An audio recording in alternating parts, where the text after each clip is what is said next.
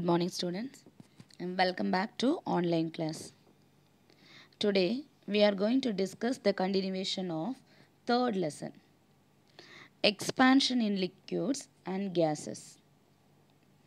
When a liquid is heated, it is done by keeping the liquid in some container and supplying heat energy to the liquid through the container. The thermal energy supplied will be partially used in expanding the container and partly used in expanding the liquid. Thus, what we observe may not be the actual or real expansion of the liquid. Hence, for liquids, we can define real expansion and apparent expansion. We can define which one? Real expansion and the apparent expansion. So, what is real expansion? If a liquid is heated directly without using any container, then the expansion that you observe is termed as real expansion of the liquid. So, what is real expansion? Liquid is heated directly without using any container. Then the expansion is called as what? Real expansion of the liquid. The real expansion of the liquid, we can use one more term, coefficient of real expansion. So, coefficient of real expansion is defined as the ratio of the true rise in the volume of the liquid per degree rise in temperature to its unit volume. So, what which term we are using here? The true rise in the volume of the liquid when the heat energy is applied is needed.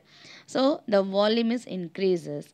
Volume is increases per the liquid per degree rise in temperature to its unit volume. This is called as what? Coefficient of real expansion. So, what is the SI unit of coefficient of real expansion?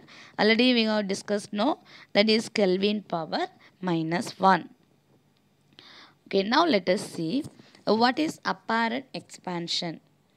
Heating a liquid without using a container is not possible, is stated. Thus, in practice, you can heat any liquid by pouring it in a container. A part of the thermal energy is used in expanding the container and a part is used in expanding the liquid. Thus, what you observed is not the actual or real expansion of the liquid. So, the expansion of a liquid apparently observed without considering the expansion of the container is called as apparent expansion. So, it is considered.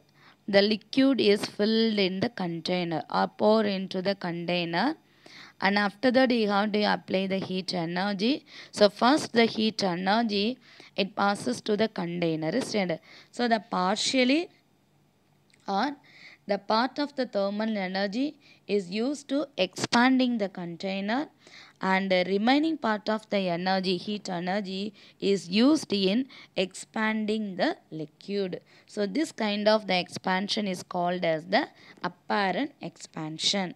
So now let us see what is coefficient of apparent expansion. The ratio of apparent rise in in previously we have used that is a unit rise is stated that is a true rise we have used. But in this place we have to use apparent rise in volume of the liquid per degree rise in temperature to its unit volume. So the ratio between the apparent rise in volume of the liquid per degree rise in temperature to its unit volume this is called as what coefficient of apparent expansion so the SI unit of the coefficient of apparent expansion is Kelvin power minus 1. I hope you understand. Okay, now let us move on to the important 5 mark question. Experiment to measure real and apparent expansion of liquid. To start with, the liquid whose real and apparent expansion is to be determined is poured in a container up to a level. It is filled. Okay.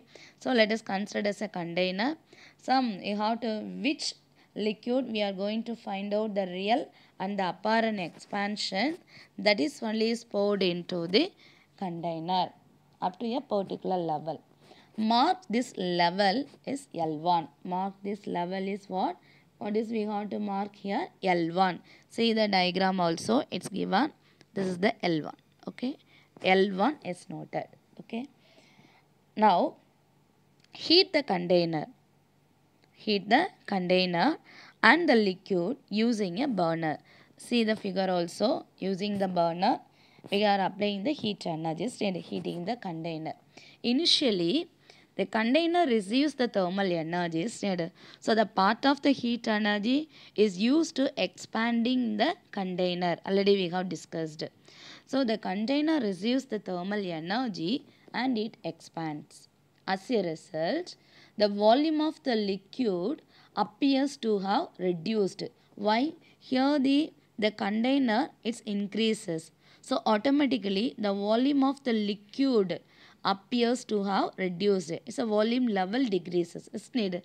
Now we have to mark the reduced level of liquid is L2. So where will come for the L2? Here. So this is the second one.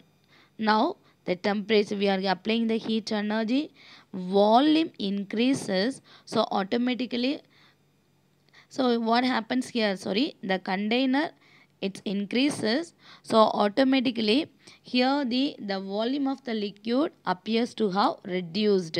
That's why now we have to note the the level of the container. It is denoted by the symbol is L2 okay? And for the heating the thermal energy is supplied to the liquid through the container results in the expansion of the liquid is.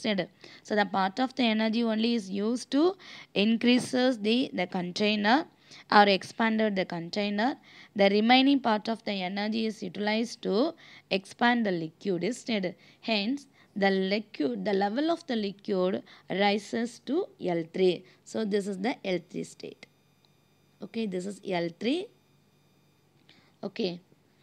Now, the difference between the levels L1 and L3 is called as apparent expansion. So, the difference between the L3 and L1 is called as what? Apparent expansion. So, what is apparent expansion? The heat energy is given. The part of the energy is used to expand the container. The remaining part of the energy is used to expand the liquid. So, the initial state the liquid it is denoted by the symbol is L1 now the heat energy is given continuously. The liquid level rises. Now it is noted the symbol is L3 the difference between these two levels only is given as what? Apparent expansion. Now we can find out the real expansion. So what is the real expansion here that is the difference between the levels L2 and L3 is called as real expansions. So what happens here? The uh, what is L2? The L1 is taken as the initial state is needed. Now the the container it's expanded. So what happens here? The volume of the liquid level or reduced is needed.